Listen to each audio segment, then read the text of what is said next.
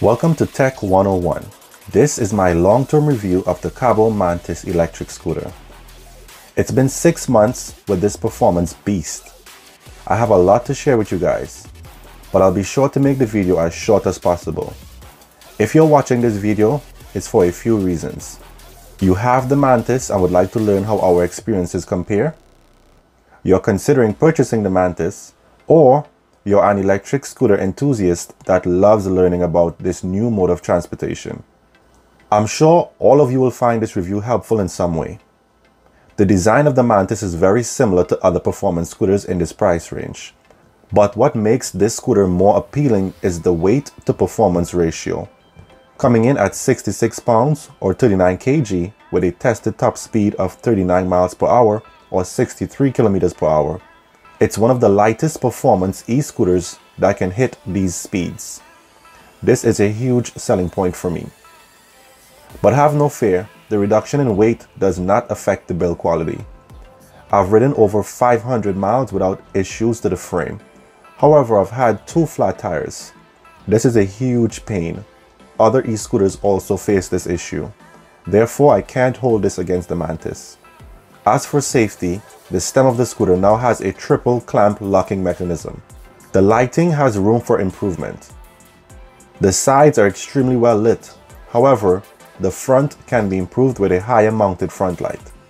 My model also has the Zoom hydraulic brakes. This is my first experience with hydraulic brakes. I must say it's a great improvement. I've never needed more stopping power. Even at 40 miles per hour, I've been able to stop without issues. It makes me very confident when riding. Now each person rides differently, so I'd advise you guys to be careful regardless of the braking stability. Additionally, my tires are upgraded from the standard 2.5 inches wide to 3 inches wide. However, both are 10 inches in diameter. This gave me more traction due to the wider surface area making contact with the ground. Also, in my opinion, it looks better. As I mentioned before, the flat tires were a pain. However, they were repaired by my friends at Mini Motors Brooklyn on Nostrand Avenue. They are very good with all types of scooter repairs. In addition to this, the stem has developed some type of squeaking. It's very mild, however due to my attention to detail I was able to notice it when accelerating. In conclusion, this scooter checks a lot of my boxes. I've never felt like I wanted a higher top speed or faster acceleration.